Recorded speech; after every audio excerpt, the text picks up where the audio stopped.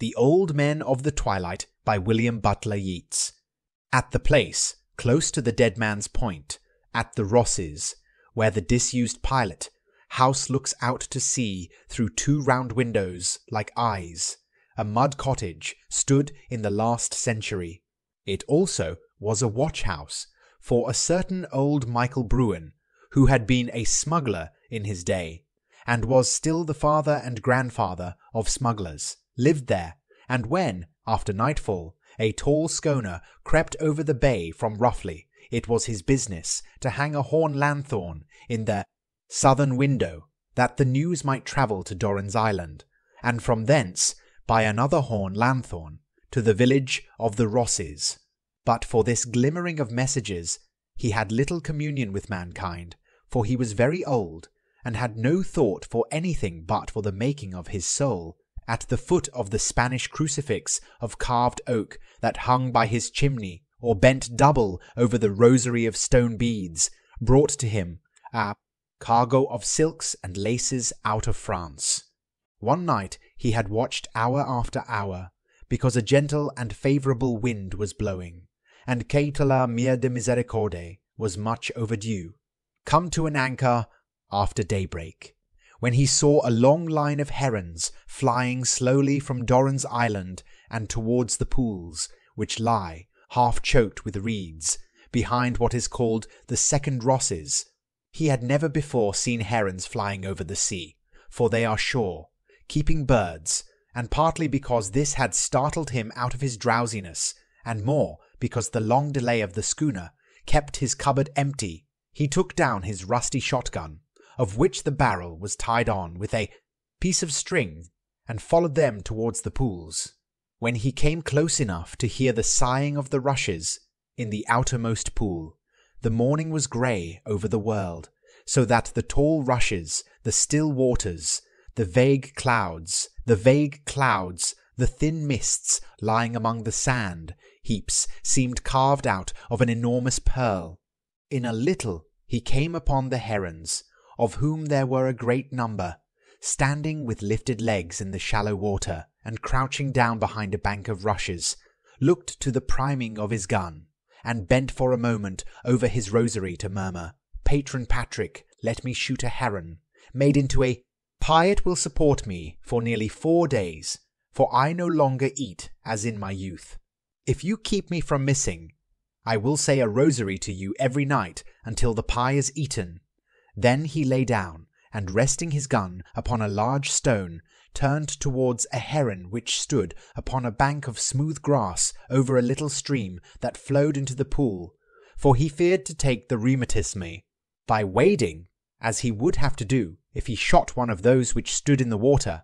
But when he looked along the barrel, the heron was gone, and, to his wonder and terror, a man of infinitely great age and infirmity stood in its place. He lowered the gun, and the heron stood there with bent head and motionless feathers, as though it had slept from the beginning of the world. He raised the gun, and no sooner did he look along the iron than that enemy of all enchantment brought the old man again before him, only to vanish when he lowered the gun for the second time. He laid the gun down, and crossed himself three times, and said a Pater Noster, and an Heave Mariafe, and muttered half aloud, Some enemy of God and of my patron is standing upon the smooth place and fishing in the blessed water, and then aimed very carefully and slowly. He fired, and when the smoke had gone, saw an old man huddled upon the grass and a long line of herons flying with clamour towards the sea. He went round a bend of the pool, and coming to the little stream, looked down on a figure wrapped in faded clothes of black and green of an ancient pattern and spotted with blood. He shook his head at the sight of so great a wickedness. Suddenly the clothes moved, and an arm was stretched upwards towards the rosary, which hung about his neck, and long wasted fingers almost touched the cross. He started back, crying, Wizard, I will let no wicked thing touch my blessed beads. And the sense of a the old great danger just escaped made him tremble.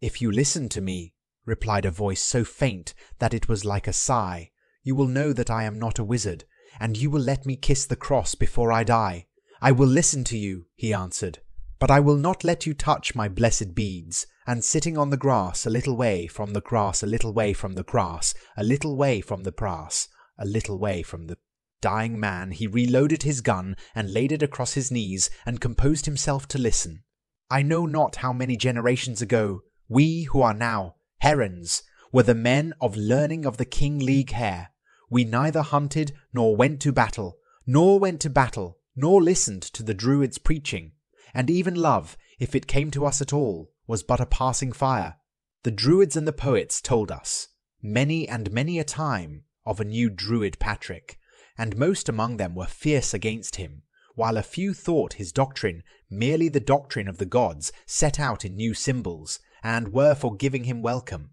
But we yawned in the midst of their tale. At last they came crying that he was coming to the king's house, and fell to their dispute. But we would listen to neither party, for we were busy with a dispute about the merits of the great and of the little meter, nor were we disturbed when they passed our door with sticks of enchantment under their arms travelling towards the forest to contend against his coming, nor when they returned after nightfall with torn robes and despairing cries. For the click of our knives, writing our thoughts in Ogham, filled us with peace, and our dispute filled us with peace, and our dispute filled us with joy, nor even when in the morning. Crowds passed us to hear the strange Druid preaching the commandments of his God. The crowds passed, and one, who had laid down his knife to yawn and stretch himself, heard a voice speaking far off, and knew that the Druid Patrick was preaching within the king's house. But our hearts were deaf, and we carved and disputed and read, and laughed a thin laughter together. In a little we heard many feet coming towards the house, and presently two tall figures stood in the door, the one in white, the other in a crimson robe, like a great lily and a heavy poppy, and we knew the Druid Patrick and our king Likar.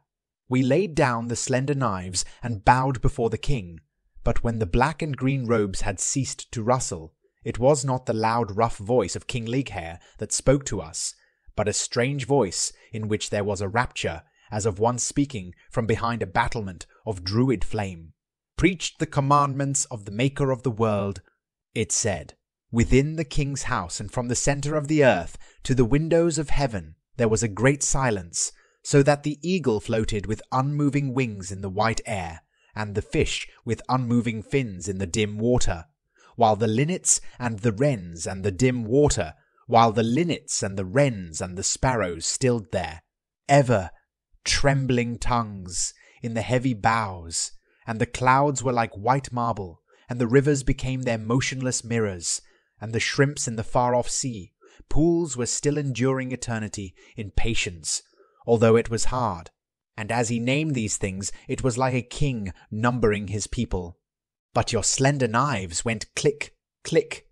upon the oaken staves, and all else being silent, the sound shook the angels with anger. O little roots nipped by the winter, who do not awake, although the summer pass above you with innumerable feet. O Men who have no part in love, who have no part in love, who have no part in song, who have no part in wisdom, but dwell with the shadows of memory, where the feet of angels cannot touch you as they pass over your heads, where the hair of demons cannot sweep about you as they pass under your feet. I lay upon you a curse, and change you to an example for ever and ever. Shall become grey herons, and stand pondering in grey pools, and flit over the world in that hour when it is most full of sighs, having forgotten the flame of the stars, and not yet found the flame of the sun, and you shall preach to the other herons until they also are like you, and are an example, for ever and ever, and your deaths shall come to you by chance and unforeseen, that no fire of certainty may visit your hearts. The voice of the old man of learning became still, but the voteen bent over his gun with his eyes upon the ground, trying in vain to understand something of this tale. And he had so bent, it may be for a long time, had not a tug at his rosary made him start out of his dream. The old man of learning had crawled along the grass, and was now trying to draw the cross down low enough for his lips to reach it. You must not touch my blessed beads, cried the voteen, and struck the long withered fingers with the barrel of his gun. He need not have trembled, for the old man fell back upon the grass with a sigh, and was still. He bent down and began to consider the black and green clothes, for his fear had begun to pass away, when he came to understand that he had something the man of learning wanted and pleaded for, and now that the blessed beads were safe, his fear had nearly all gone, and surely, he thought, if that big cloak and that little tight fitting cloak under it were warm and without holes, St. Patrick would take the enchantment out of them and leave them fit for human use. But the black and green clothes fell away wherever his fingers touched them, and while this was a new wonder, a slight wind blew over the pool and crumbled the old man of learning and all his ancient gear into a little heap of dust, and then made the little heap of dust and less until there was nothing but the smooth green grass.